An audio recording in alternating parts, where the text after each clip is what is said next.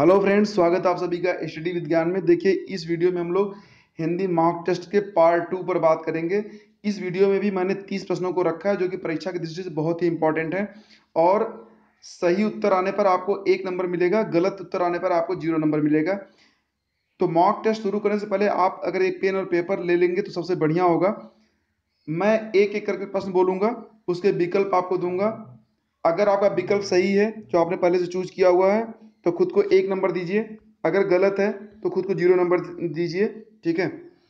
और एक बात और फ्रेंड्स, आपसे कहना चाहता हूँ, बहुत सारे लोग हैं जो लोग चैनल को बिना सब्सक्राइब किए देख रहे हैं। तो प्लीज़ मेरा रिक्वेस्ट है, मैं आपसे निवेदन करता हूँ कि चैनल को सब्सक्राइब कर लीजिए। इससे आप ही का फ़ायदा है, क्योंकि आप तब सारे मॉक टेस्ट सारे डिस्कशन में शामिल हो पाएँगे। तो चलिए शुरू करते हैं। पहला प्रश्न लाता हूँ आपके लिए, प्रियतम शब्द का स्त्रीलिंग रूप क्या है? ऑप्शन ए, प्यारी, ऑप्शन बी प्रेमिका, ऑप्शन सी प्रियतमा या ऑप्शन डी प्रिया। आप अपने विकल्प को चूज़ कीजिए। अब तक आप अपने विकल्प को चूज़ कर चुके होंगे। मैं सही उत्तर बता रहा हूँ। प्रियतम शब्द का स्त्रीलिंग रूप होता है। प्रियतमा, ऑप्शन सी इज़ करेक्ट ठीक है? अगर आप सही हैं तो खुद को एक नंबर दीजिए। गलत है तो ज़ीरो नंबर दीजिए। अगर ज़ीरो है तो नंबर आ रहा है आपका। तो कोई बात नहीं फ्रेंड्स क्योंकि आपको एक नया एक नया तथ्य आपको पता चल गया। और अगर आपको आपका सही है तो खुश हो जाइए। आगे बढ़ते हैं। दूसरा प्रश्न देखते हैं। अपेक्षा शब्द के समानार्थी शब्द का चयन नीचे दिए गए विकल्पों में से कीजिए। ऑप्शन ए आदर। ऑप्शन बी वनस्पत। ऑप्शन सी निरादर। या ऑप्शन डी लापरवाही। आप अपना विकल्प चूज़ कीजिए।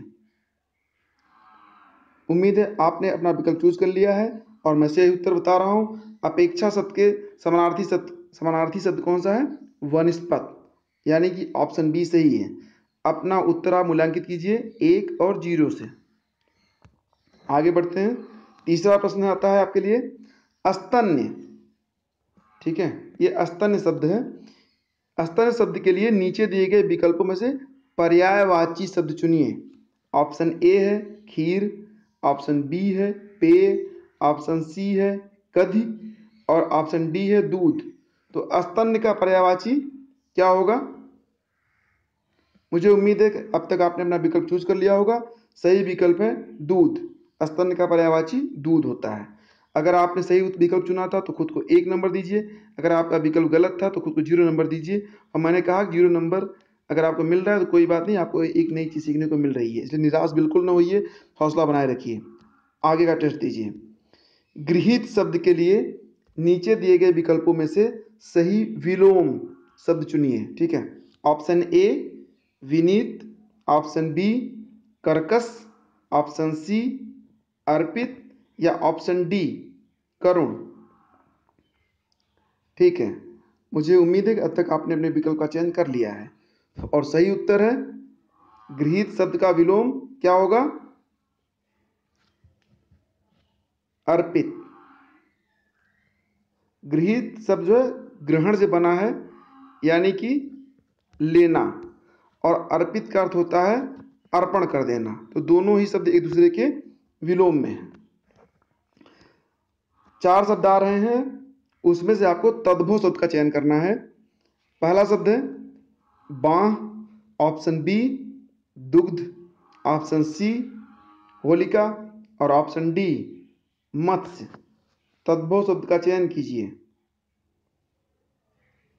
Okay and the correct answer is option A बाह बाह जो है, ये तद्भव शब्द है।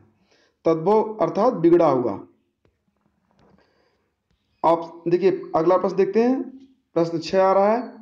आयोत्सर्ग शब्द में प्रयुक्त संधि के प्रकार का चयन नीचे दिए नीचे दिए गए विकल्पों में से कीजिए। आयोत्सर्ग, ये शब्द है, ठीक है? इसका जो है, आपको बताना है कि कौन सा इसमें संधि है, कौन सी संधि है। यण संधि, गुण संधि, विसर्ग संधि या अयात संधि। ठीक है, मैं सही उत्तर देता हूँ आपको।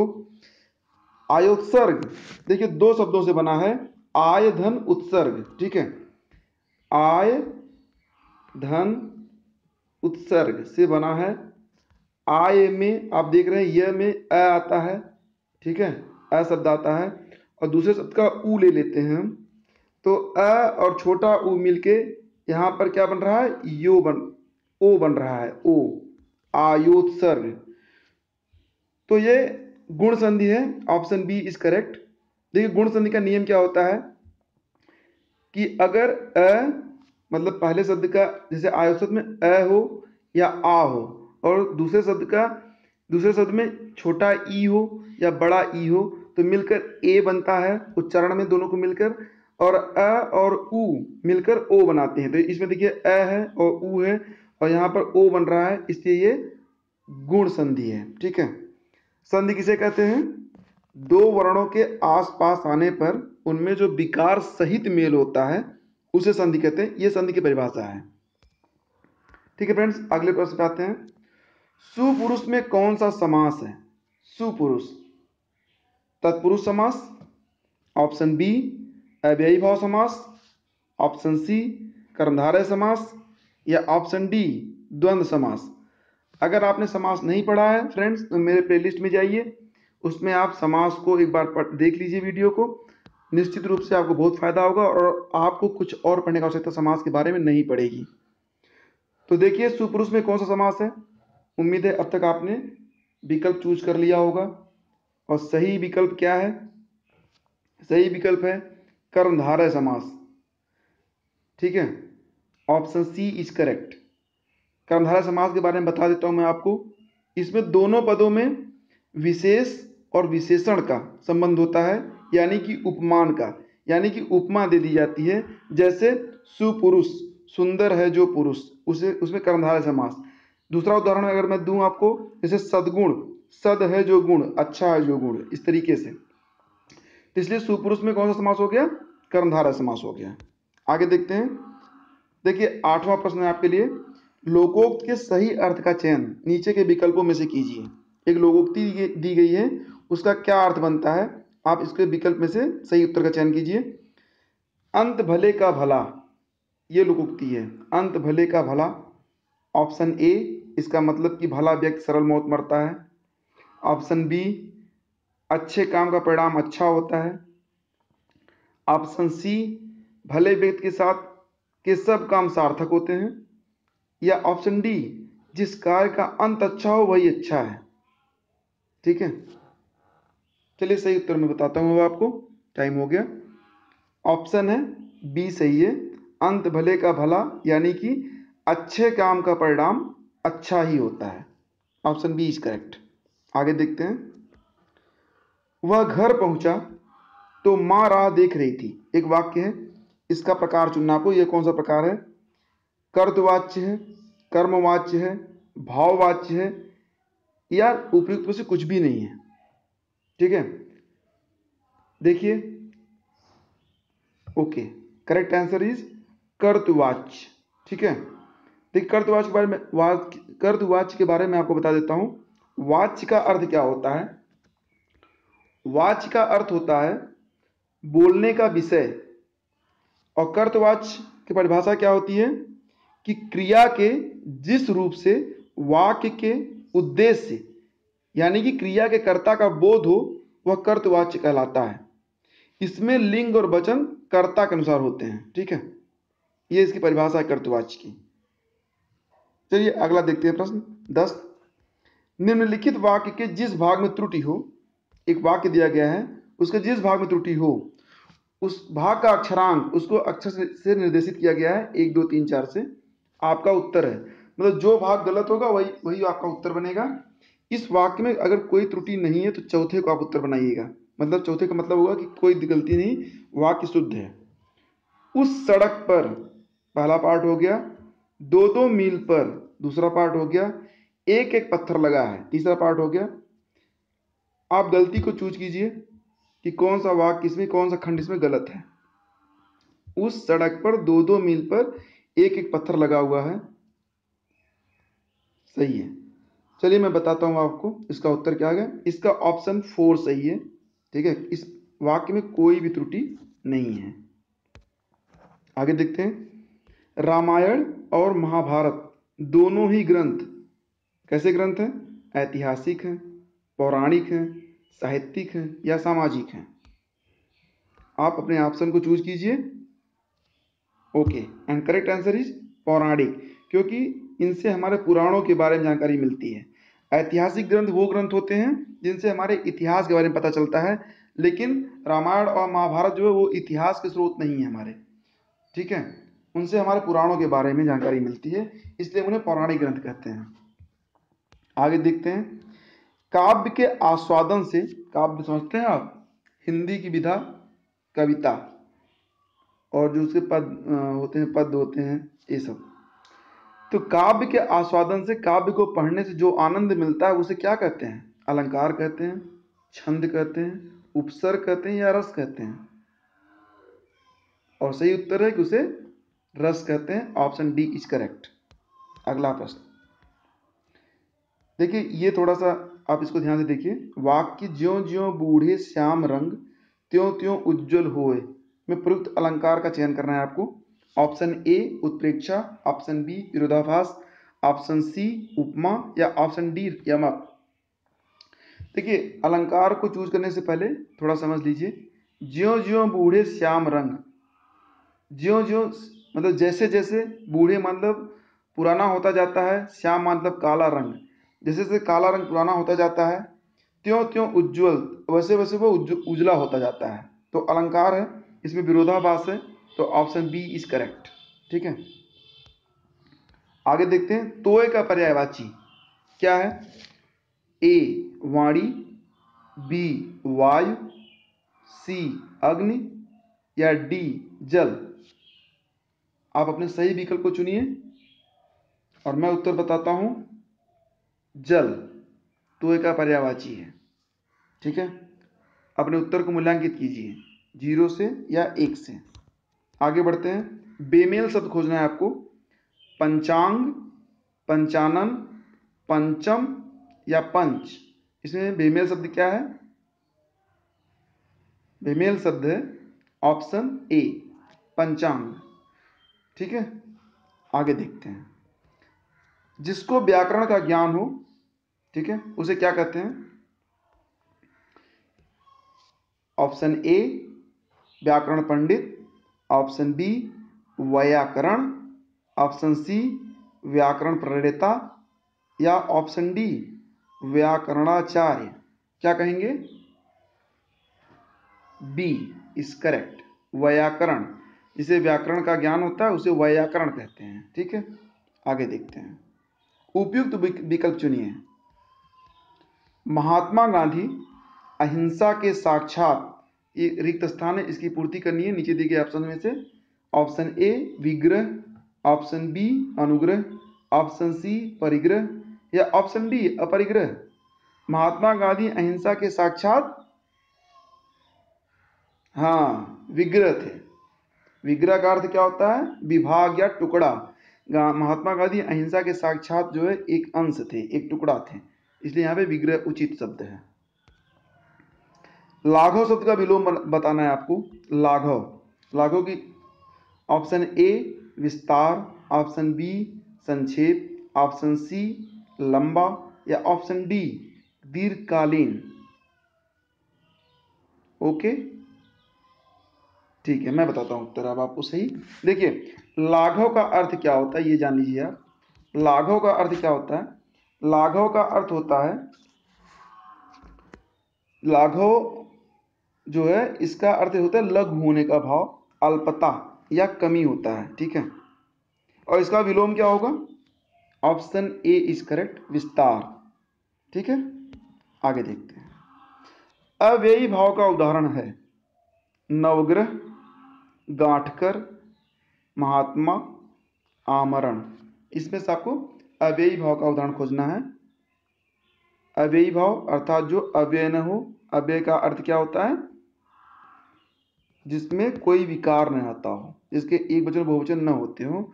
और सही आंसर है आमरण। कभी भी आप आमरणों नहीं कहते हैं। इसका कोई एक वचन बहुवचन नहीं होता है। आमरण जहाँ भी प्रयोग होता है, अपने अव्यय रूप में प्रयोग प्रयोग होता है। ठीक है? आमरण आमरण ही लिखा जाता है।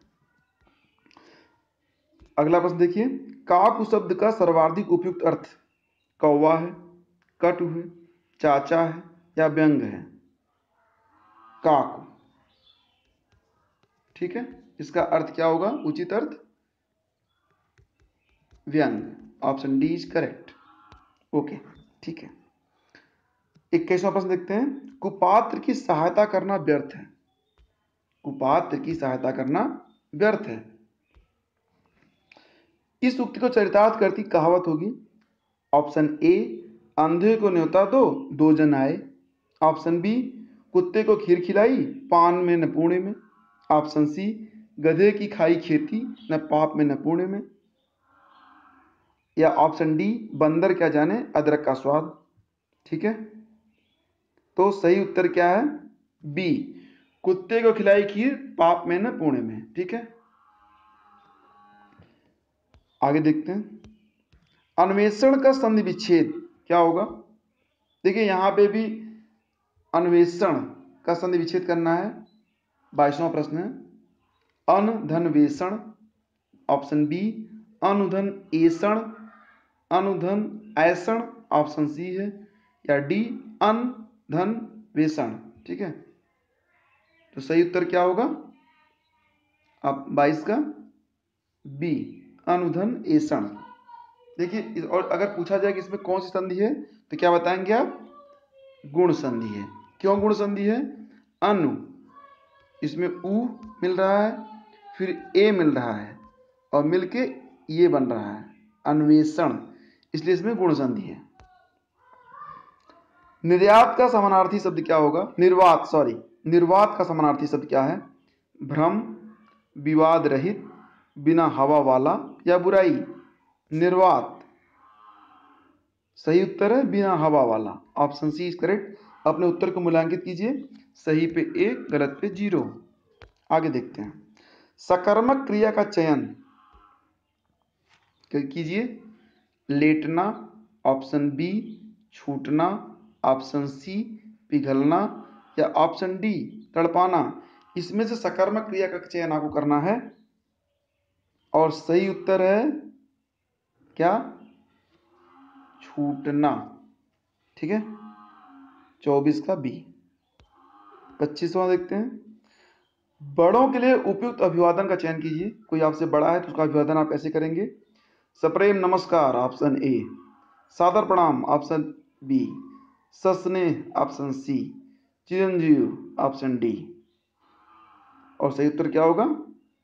Correct. Option B is correct. सादर प्रणाम। ठीक है? मानव शब्द के लिए उपयुक्त भाववाचक संज्ञा। संज्ञा भाववाचक का चयन कीजिए। मनस्वी ऑप्शन बी मानवता ऑप्शन सी मनुष्यत्व ऑप्शन डी आदमियत। इसमें भाववाचक संज्ञा कौन सी होगी? कौन सी होगी? ओके। बी मानवता। ठीक है? अगला प्रश्न देखिए। देखिए फ्रेंड्स, इसमें क्या है ना थोड़ा सा मिसप्रिंट हो गया है। मिसप्रिंट नहीं हुआ प्रिंट ही नहीं हुआ है। विकल्प मैं बोलूँगा, आप प्लीज़ सुन के जवाब दे दीजिएगा, ठीक है? चलिए शुरू करते हैं। हिंदी की मूल उत्पत्ति किससे हुई थी? ये प्रश्न है। आपको ऑप्शन में दे रहा हूँ, सुनिए ध्यान से।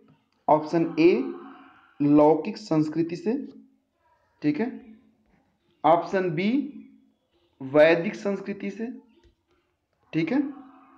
ऑप्शन सी मागधी से, ठीक है, या ऑप्शन डी सौर सेनी अपभ्रंश से, ठीक है, हिंदी की उत्पत्ति कैसे हुई है? करेक्ट ये ऑप्शन डी सही है, सौर सेनी अपभ्रंश से हिंदी की मूल उत्पत्ति हुई है, ठीक है? थैंक्स फ्रेंड्स थोड़ी सी गलती हो गई थी। आगे देखते हैं। हिंदी भाषा की वे ध्वनियाँ जो स्वतंत्र रूप से बोली या लिखी जाती हैं, उन्हें क्या कहते हैं? स्वर कहते हैं, व्यंजन कहते हैं, वर्ण कहते हैं, या अक्षर कहते हैं ऑप्शन डी में। हिंदी भाषा की वे ध्वनियाँ जो स्वतंत्र रूप से बोली जाती हैं, कहलाते हैं क्या? बिल्कुल सही, उसे स्वर कहते हैं। स्वर को बोलने के लिए किसी और अल्फ़ाबेट की किसी वर्ण की आवश्यकता नहीं पड़ती है। और ये कौन कौन से होते हैं? अ आ ई ई उ री। अ आ ई ई उ ऊ री ए ए ओ ठीक है? क्योंकि इसमें जब बोलते हैं अ बोलते हैं तो अ ही आता है। लेकिन जब आप क बोलते हैं तो क धन अ आता है क। इसलिए स्वतंत्र रूप से बोली जा, बोले जाने वाली जो ध्वनियाँ हैं वो स्वर हैं। अगला प्रश्न देखिए। देखिए अगला प्रश्न है कि नल की अरु नल नीर की गति एक कर जोई जेतो नीचे हुए चले तेतो ऊँचे होई इस दोहे के रचनाकार कौन है आपको बताना है ऑप्शन ए है Kabir B Rahim option C Bihari option D Tulsi कौन है रचनाकार इसके बिल्कुल सही है बिहारी हैं ठीक है आप सही उत्तर पे आप एक नंबर दीजिए गलत उत्तर पे ज़ीरो नंबर दीजिए और ज़ीरो नंबर पे कोई दिक्कत नहीं एक नई चीज़ तो सीख रहे हैं आप? ठीक है? आगे देखते हैं। रिक्त स्थानों की पूर्ति करो। समय व्यर्थ मत गमाओ। Dash dash dash. पछताना पड़ेगा। इसमें सही सही शब्द कौन सा भरेंगे आप? ताकि, क्योंकि, तुरंत या अन्यथा। समय व्यर्थ मत गमाओ। ताकि पछताना पड़ेगा। सही होगा? नहीं। क्योंकि पछताना पड़ेगा? नहीं। तुरंत पछताना पड़ेगा? नहीं। सही है। अन्यथा पछताना पड़ेगा। ठीक है? ठीक है फ्रेंड्स इस तरीके से ये इकतीस प्रश्न हो गए, क्योंकि एक प्रश्न में दो प्रश्न मिल गए, उसमें, इसमें वाले देखिए आप। ये जो था कहा गया, हिंदी की मूल उत्पत्ति वाले में दो प्रश्न हो गए थे, ठीक है? मैंने दोनों करवा दिए। तो इस तरीके से आपके इकतीस प्रश्न हो रहे हैं। लास्ट प्रश्न अगर हम जोड़ेंगे तो इकतीस हो जाएँगे। तो अपना मूल्यांकन आप आप इकतीस में कीजिए, कोई बुराई वाली बात नहीं है। थोड़ा सा ज़्यादा है तो मतलब कि अच्छी बात है, कम नहीं होना चाहिए। और अंतिम है मुझे तोड़ लेना वनमाली, देना उस पथ पर फेंक, मातृभूमि पर शीश चढ़ाने, जिस पर जामे वीर अनेक। आपने ये कविता पढ़ी है आई एम श्योर आपको बताना है कि इसके रचनाकार हैं कौन? सुमित्रानंदन पंत जी हैं। ऑप्शन बी माखनलाल चतुर्वेदी जी हैं। ऑप्शन सी महादेवी वर्मा जी हैं। या ऑप्शन डी द्वारिका प्रसाद महेश्वरी। कौन है? ठीक है? तो इसके जो है, रचनाकार correct option B is correct Makhanlal Chaturvedi ने लिखा है। ठीक है फ्रेंड्स आपको देखिए कितने नंबर मिले। अपनी तैयारी को आप जो है, उससे इवेल्यूट कर लीजिए। अगर आप चाहें तो कमेंट बॉक्स में आप अपने जो है मार्क्स कितने आपने गेन किए, वो आप लिख सकते हैं। लेकिन याद रखिएगा कि थर्टी वन में है ये। जितने भी नंबर मिले आपको थर्टी वन में मिले हैं। ठीक है? और दूसरी बात फ्रेंड्स देखिए, अगर आप लोग बिना सब्सक्राइब किए चैनल को देख रहे हैं ना तो प्लीज़ सब्सक्राइब कर लीजिए।